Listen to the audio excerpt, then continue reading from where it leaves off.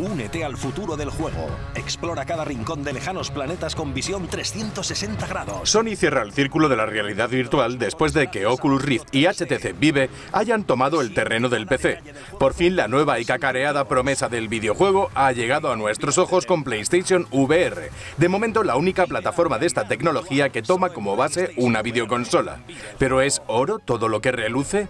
El miedo a que nos encontramos frente a una nueva tecnología nacida para morir hace que nos planteemos planteemos muchas cosas muy en serio antes de decidirnos a invertir. No son pocas las preguntas al respecto y nosotros vamos a intentar resolverlas todas.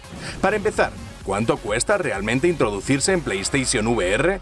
Damos por hecho que frente a esta pregunta todo el que se la hace tiene ya comprada una PlayStation 4, ya que es imprescindible.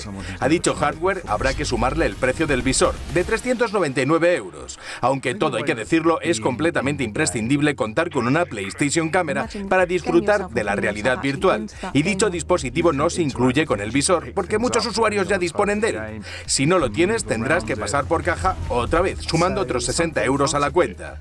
Además, muchos juegos son compatibles con mandos de Move de PlayStation 3. Si no los tienes, se ha relanzado este tipo de control en un pack de 79,95 euros, dos mandos. Ya sabes, por lo tanto, lo que vas a necesitar de primera mano. Habrá más combinaciones y más periféricos, pero eso ya lo dejamos para un futuro próximo. Nos vamos a poner a jugar. ¿A qué podemos hincarle el diente de primeras? El headset incluye un disco de demos, gracias al que podremos ver algunas de las cosas que tendremos disponibles en el mercado el día de lanzamiento.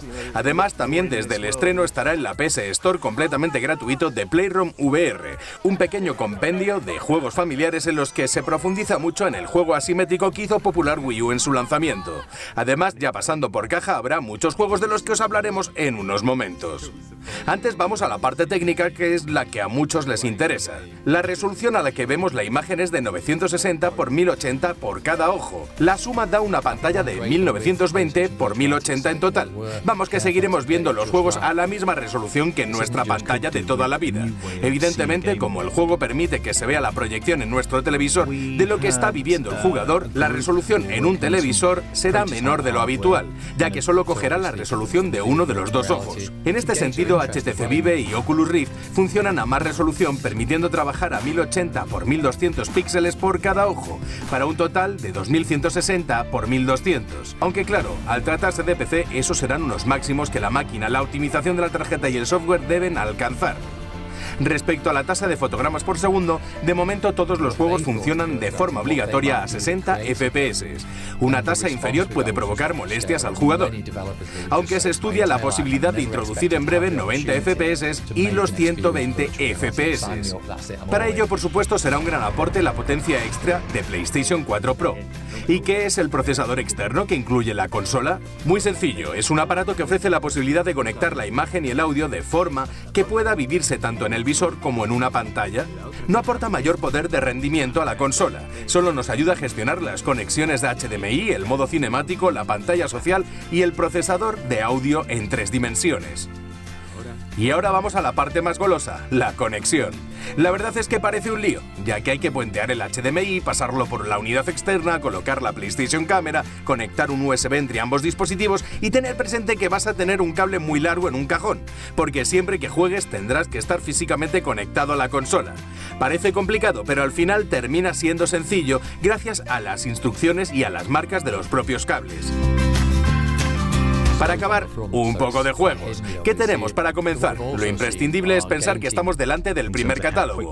Y como primer catálogo encontramos los lugares comunes más clásicos. Juegos cortos, ideas poco arriesgadas y poca profundidad. Dentro de poco podremos ver qué nos depara el futuro y qué nuevos juegos se asientan en esta plataforma. De momento son muy destacables juegos que a priori no tendrían demasiado empaque como Battlezone o Tamper, que muestran mecánicas muy inmersivas. Es interesante que se haya creado una buena colección de juegos experiencia que por un valor de entre 10 y 20 euros permiten meter al jugador en historias inmersivas de toda índole. Por un lado podremos disfrutar de Batman Arkham VR, una especie de película ligeramente interactiva en la que nos meten en una historia corta del hombre murciélago que, si bien sabe a muy poco, es de las que mejor se ven. Ras of Blood, una especie de juego de acción en primera persona sobre raíles, literalmente, que nos deja visitar algunos de los pasajes del juego Until Dawn, o el onírico Here de los estudios Santa Mónica. Eso sí, hay que tener un poquito de valor para jugarlo porque da un poco de miedito. A todos estos títulos se les unen algunos interesantes pero altamente mareantes al comienzo, como el competitivo Riggs, el fallido Drive Club, con un aspecto muy por debajo de las posibilidades de la plataforma, o el espectacular Eve Valkyrie.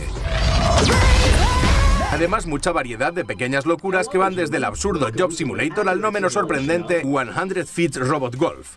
Ver para creer. Esto más o menos es todo lo que nos depara el comienzo de la realidad virtual en Sony. Os emplazamos a contar dentro de un año cómo siguen las cosas. ¿Seguiremos por el mismo camino o habrá más y más jugosas novedades? Os lo contaremos todo en Vandal Televisión. Os esperamos.